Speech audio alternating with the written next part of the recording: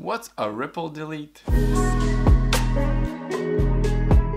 Hey guys, welcome to the channel. If you're new here, I would kindly ask you to subscribe. If you're a beginner DaVinci Resolve user, I hope you'll find this video helpful. I'll give you a few ways that you can trim, split, delete clips in the Edit tab. The first function that we're going to look at is the ripple delete function, and it essentially allows you to remove a clip from your timeline and then automatically close the gap created by the removal. To use it, first select the clip and then right click and click on ripple delete. Of course, this is time consuming, so you're going to have to use the shortcut, which is shift and delete. This is really handy because not only removes the clip, but it removes the gap left by the clip.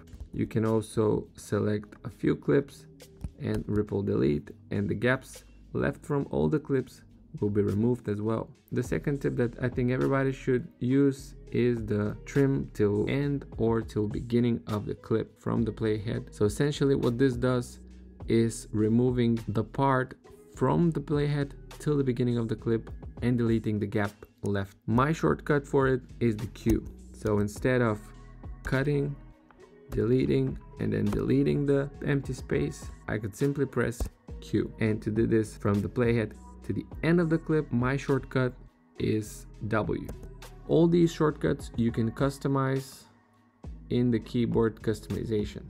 All you have to do is search for ripple and under trim, you'll find ripple end to playhead and start to playhead. Now, if I had a clip on the video track 2 and if I wanted to trim this clip from the playhead to the beginning of the clip, but I didn't want this clip to move from its current position, I would have to deselect the auto track selector and I would have to do it on both the video track 2 and the audio track 2. So in this way, when I trim this clip, this video will stay exactly where it was. Now, if I wanted to only delete the audio from this clip, one way to do it is clicking here to deselect the, the linked selection. So now the videos are no longer selected with their respective linked clip. So I can select only the audio file and delete it.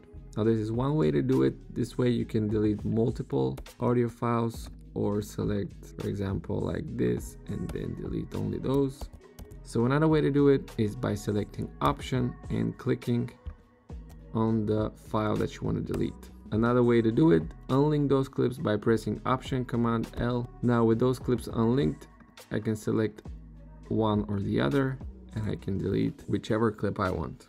If you want to delete multiple clips, you can set in and out point, command shift A to highlight the selection and delete. This way it will delete the area that you have highlighted.